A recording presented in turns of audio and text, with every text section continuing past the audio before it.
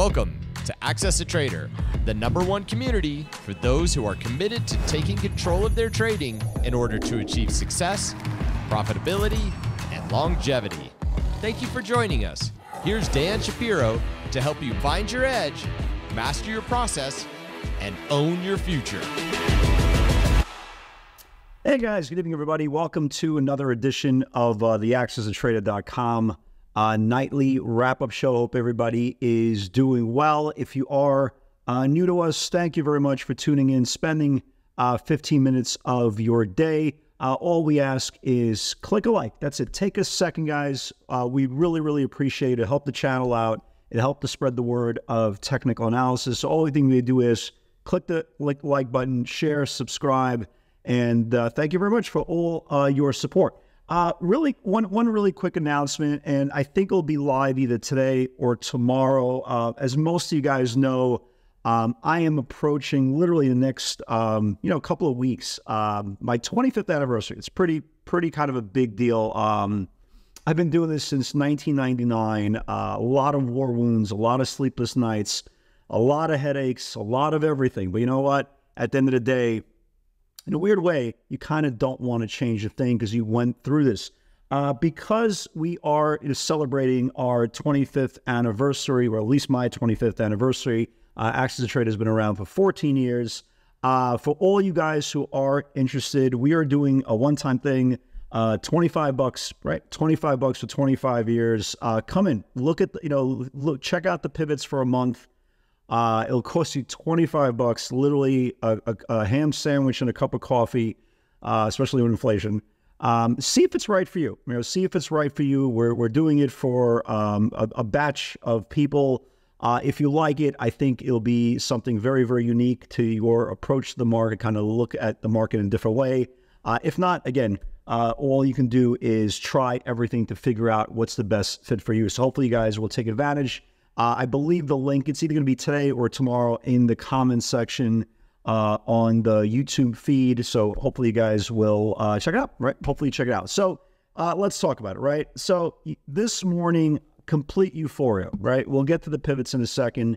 Uh, this was definitely a day of a two sided uh, market. the Bulls won the morning, the Bears won the afternoon and now we have to decipher what happens next. Um, you know, we talked about it on the weekend video, and this is the most important part. I've, I've, been talking about this on and off now for a couple of weeks, but on the weekend video, you know, we, we talked about potentially how every market ends, right? And how every market doesn't, you know, tap you on the shoulder and say, hey, by the way, this is going to be the end of the move or the end of the short term move.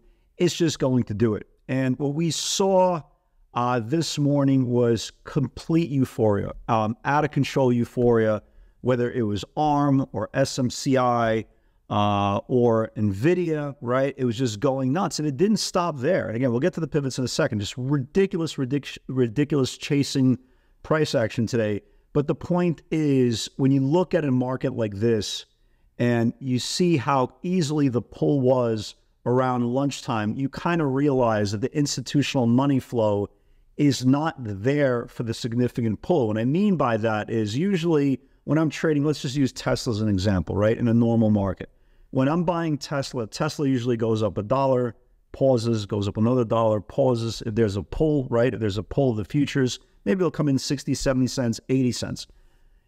A name like Tesla, and, I'm saying, I'm just using this kind of as an example, a, a, a stock like Tesla or a stock like NVIDIA, well, let's use NVIDIA as better an example shouldn't go up $7 on one candle and come in $5 at three minutes later. It shouldn't do that. And what basically it shows you is that the institutional money flow has been coming slowly out of these trades, slowly, right? Slowly out of these trades. Because you keep this in mind. If you're a fund manager and you're long NVIDIA anywhere, anywhere from 500 to 550 to even 600, don't you think at some point they're going to be coming out of the stock? And that's exactly what we saw today. We saw the when, it, when we saw the aggressive pulls, the aggressive pulls were worth five, seven, eight dollars. They weren't worth a dollar, dollar and a half. Consolidation go back up, and that's a very, very, very specific sign of a potential. We started talking about that on the weekend video.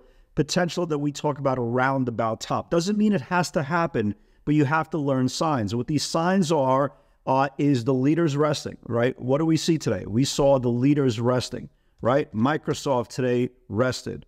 Um, Apple today, not that Apple's a leader anymore, but Apple today, it was tired, right? Amazon, after a really, really good run, backed up in back into the five day moving average. And again, can this mean something? Could this mean nothing? We don't know yet. We've seen this scenario several times just in the last two weeks. You know, we see aggressive pulls, and what happens the next day? The next day we start rallying again. We saw that on uh, January 31st, followed by the next day of explosion.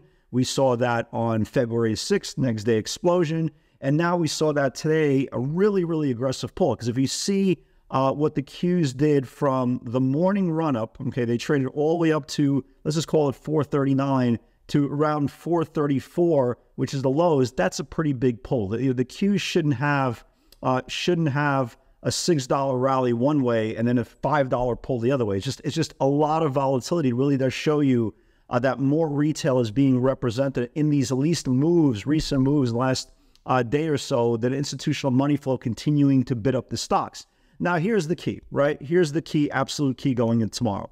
Number one, for this to be a significant anything more than a significant pullback, okay, the Qs need to lose the previous day's channel. That's it, guys. It's the most basic rule in technical analysis. If a stock wants to go higher, it has to take out the previous day's highs and it has to build on those previous day's highs. If the stock wants to go lower, well, let's flip it around. It has to take out the previous day's low and has to build below the previous day's low. So if we look at the Qs, there's two areas here that we definitely want to pay attention to for tomorrow for a potential. Again, for a potential. I, feel like I've been using the word potential just because, again, you, you, as a new trader, especially going out to new traders, you can't anticipate. I've been saying this for, for, for years.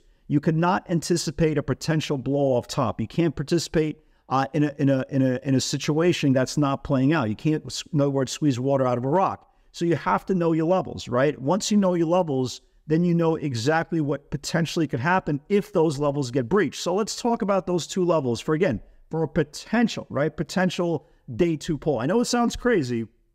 It'll probably never happen, but just in case this wacky, kooky, crazy market, right? Just in case it does, we have to be prepared. So these are the two levels we want to watch for tomorrow. Okay. Number one, we want to watch this three, 434.50, 434 area on the Qs. If they start building this 434.50, uh, 434 level below the channel, it could get pulled. And we want to also look at the previous day's channel as well, because the more days they get engulfed, the higher probability, the stronger the sell off potentially could be. Again, if there is a sell off in the first place, we don't know. We're just trying to be prepared for it.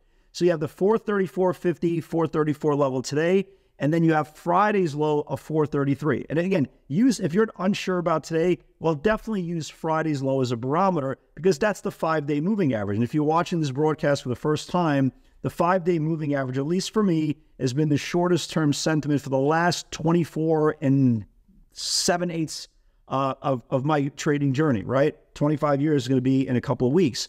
So the moral of the story is, guys, be prepared. We, we don't know if it's going to happen. We've seen several times just in the last couple of weeks, we've seen aggressive pulls after euphoria type run ups and all we've seen next day was, well, continuation of the rally. Thank you for your, you know, thank you for your weak shares. Buy the dip, bro. Buy the dip. So we don't know, right? So that's why again we're always prepared on both sides of the market. But definitely watch, uh, especially last Friday's low of this 433 level. It would also confirm the five-day moving average, and then we could get more uh, of a back test going into uh, tomorrow's session.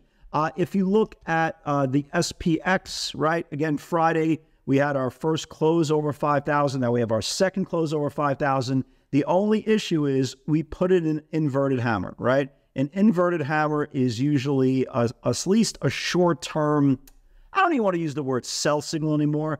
It's a short term pause signal. Is that fair, right? It's like a pregnant pause. I think it's more pause than anything else. Nobody wants to use the word sell because that's not what it is. There's no such thing as a, as a, as a concrete sell signal, but this inverted hammer is definitely something to pay attention on. So watch tomorrow the SPX. If the SPX starts losing uh, 50 16, right? 50 16, 50 17 level, yeah, that's going to cause more selling to come in. So definitely be prepared on both sides of the market. Have a two way game plan. Have a, a, a always remember anything could happen in the market, but as long as you are prepared for those anything based on specific levels, I think you'll be okay. So let's talk about today's pivots. I mean, incredible moves, incredible moves.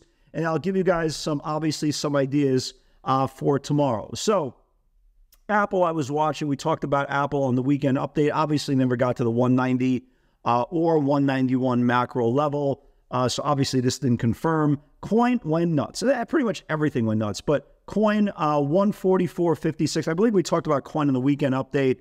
Uh, is the 50-day moving average needs to confirm. Here was coin. So it took out the 144.56 and went all the way up to 150. Absolute huge move. It actually it's held up pretty well here. So uh, if good, you know, it would be kind of good if this thing could consolidate a couple days above the 50-day moving average. But nearly a seven dollar move on coin uh, was absolutely amazing. Uh, Amazon gave the initial push above 175, traded up to like 175 40s, 175 50s, and it kind of got pulled along with a lot of other the beta names that we talk about with the leaders, right? The Microsofts of the world, the Googles of the world, and stuff like that. But, uh, you know, again, nice run. Nice run on, on Amazon. Probably needs a couple days rest.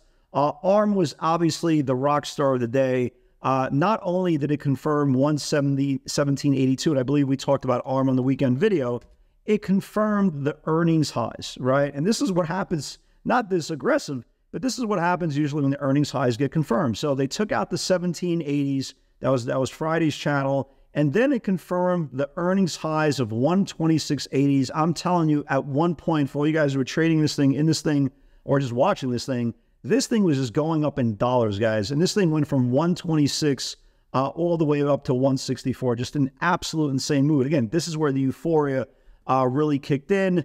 Uh, Disney, about a dollar move on Disney. We also talked about Disney uh, last night on the video. Uh, I had a dollar move before uh, everything came in, so not not a bad move on Disney. AMD, nice pop on Disney, nice pop on AMD. 75.10 needs to build. It caught you know, like a dollar and change trade in seconds, man. That, that's how crazy it was. So here was the here was the break right here. It took oh, excuse me, here was the break right here. The 75.10, right? That was Friday's channel. And stock went to all the way up to 77.40s. Obviously got pulled uh, pulled towards the end of the day, just like everything else. But you can see the euphoria just going nuts. Uh, AI, I believe we covered AI also uh, on the weekend video. 29.63 Fridays and the pre-market highs needs to build. Here was AI uh, and closed really well. So it took out the 29.63 and traded within 30 cents, closed within 30 cents of the 31.55 highs. Just a really, really big move. Still strong momentum uh, in this name as well. And here was um, Meta. Remember last night in the video, I said I want to give it every opportunity. We finally got that opportunity. Really nice move on Meta today. Uh, 473.60 and 474.20 last Friday's highs needs to build. The buyer came in for the 480s. Nice move on Meta. Went, you know, all the way up to the 479 level again. And then the guy just kind of pulled uh, with everything else. So again, great value today. Really, really great value today. But the question now, because of this aggressive pull that we saw with the Qs, well, can there actually be a day two? Now, before you throw eggs at the screen and say you're on crack and this, that, the other thing, I probably am and would probably and we probably won't.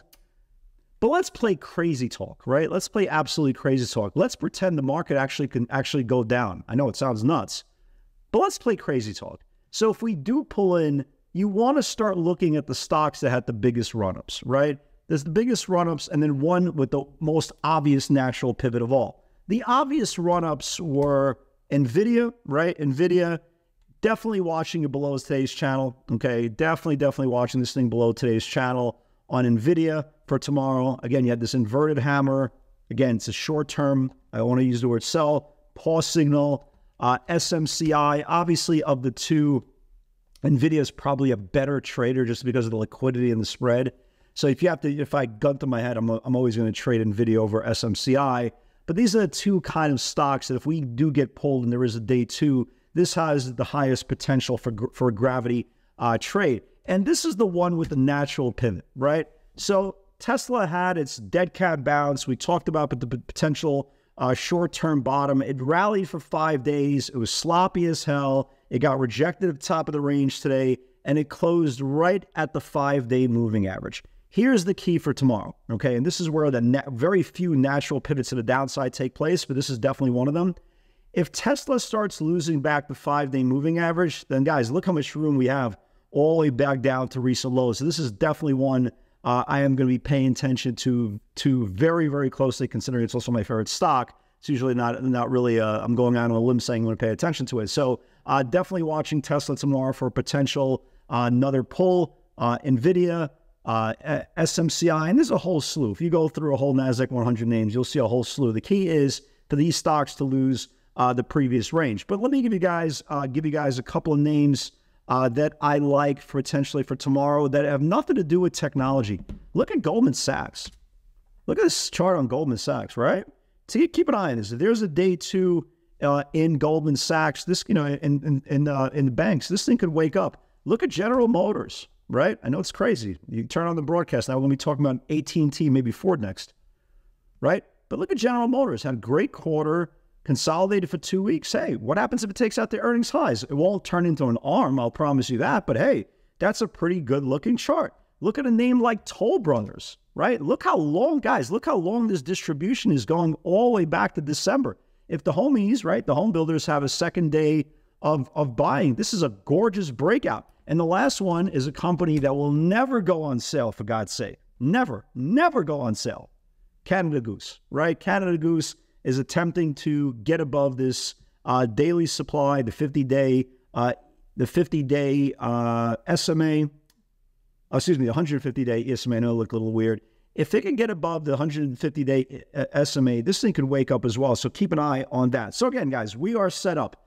Uh, can we have a day two pull? To be determined, right? To be determined for all you guys who are taking advantage, guys, and you want to see uh, if the pivots are right fit for you. Again, guys, I think the link will be in the comment section. I really look forward to uh, exposing you guys to the PS60 theory and looking at the market for a little bit uh, different point of view. Guys, God bless, and I will see you all tomorrow. Take care.